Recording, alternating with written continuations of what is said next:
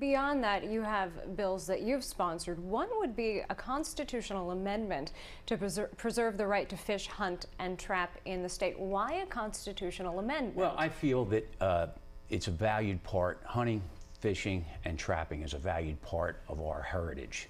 Uh, our country was built from our ancestors with their hands, and you know they went to work and they trapped they fished, they hunted to feed their families, they built their habitats. And I just feel that in modern age, modern world, we get away from that concept a little bit. This way we can ensure that our hunters, our anglers, and our trappers are ensured that this is a part of our heritage and it can stay. It's sort of like a sportsman's bill of rights. Very proud of that piece of legislation.